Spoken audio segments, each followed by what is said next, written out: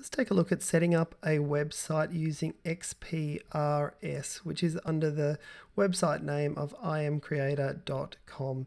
Now, on the site, once you've signed up, you'll have this wide selection of templates that you can choose from. If I just scroll down, you'll see that there is a lot of free templates as well as premium templates that you can buy. So if I come up, I might just choose a software landing page. Let's view that one and have a look.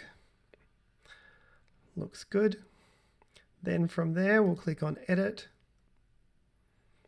That's going to take us through to be able to edit our site. Now there is going to be a short video that plays whilst you're waiting for that to load.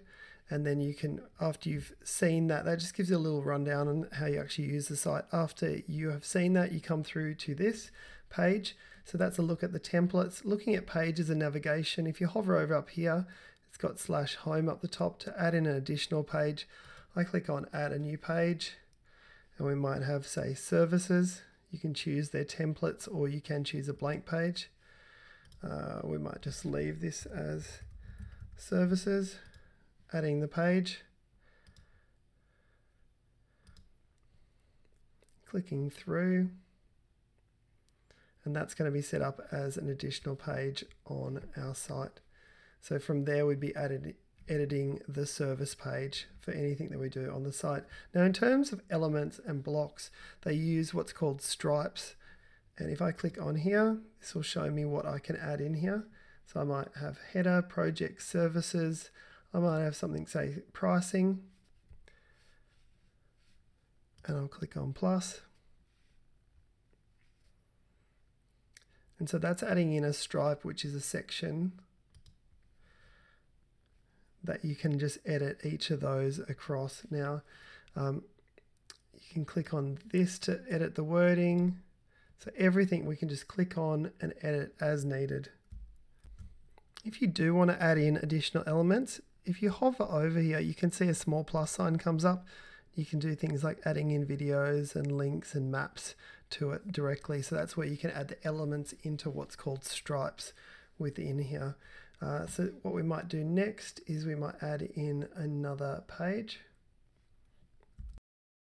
So for this one, we're going to add in a blog page. And we're just going to call that blog.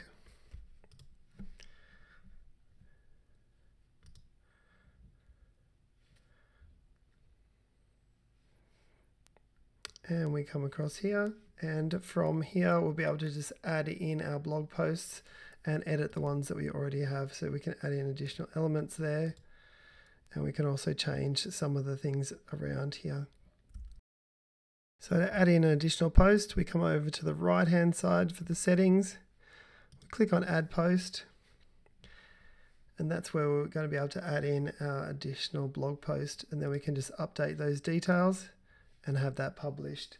The final thing that we're going to look at is just the settings for the site. So up the top here, we've got SEO settings, pro settings, and page settings.